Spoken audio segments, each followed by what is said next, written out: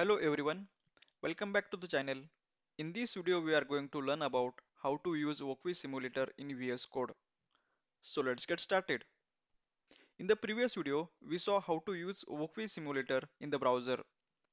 In this video we will integrate it into Visual Studio Code that is VS Code. First ensure you have Platform IO extension installed in VS Code. Next, we need to install the Wokwi extension. To do this, go to the extension view, search for Wokwi, select the first result and click on install. If you read the documentation here, it mentions that Wokwi is an embedded system and IoT simulator supporting ESP32, Arduino and the Raspberry Pi Pico. After installation, open Platform IO and create a new project. Enter the project name, select the board, choose the framework, select the directory and click on finish. Open newly created project. Now open the main.cpp file. This file will contain the source code of the project. We will use the same project code we used in the online simulator download and extract the project files. Open the code file with .ino extension. Copy the complete code and paste it into the main.cpp file. Make sure to include the arduino.h header file since we are using the Arduino framework. Our code uses the Liquid Crystal I2C library which we haven't included in the Platform IO project yet. To add it, go to the libraries view and search for Liquid Crystal I2C. Open the appropriate library. There are two ways to add the library. The first one, click on the Add to Project button, which will add the library to the project. Or go to the Installation tab, copy the library name with version information and add it manually. Now open the platform.ini file, add the libdeps variable, paste the library name on the next line. And you can append other libraries below the previous library name if needed. Like this.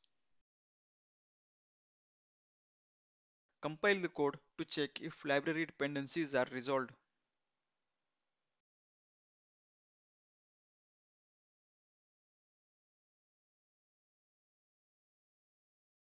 Next, we will add few files for simulation purpose. Let's add a diagram.json file if we try to open the diagram.json file for the first time, then we'll get the error like missing Wokwi license key. Click on get your license key and then click on open. This will open the Wokwi license activation page. Click on get your license and then click on open Visual Studio Code. Click on the pop-up and your license will be activated. This license is a community mode with limited access. To reflect the changes, you will need to restart the VS Code.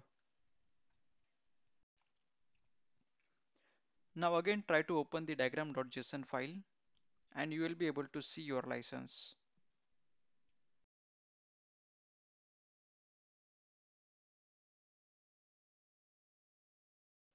When you try to edit this file, you might get a message to upgrade the plan if you are on free plan. But there is a workaround. Open the newly added diagram.json file in Notepad.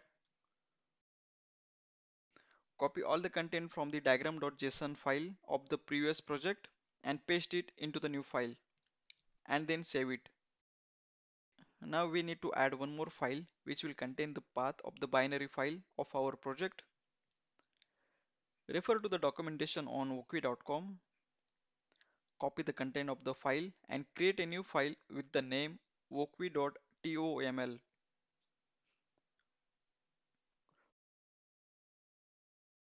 Paste the content which we copied from the documentation. Copy the path of the binary file we compiled earlier and update it into the wokwi.toml file. Update the path for firmware and ELF file. Now open the diagram.json file again. Now our project environment is ready for simulation. Let's run the simulation.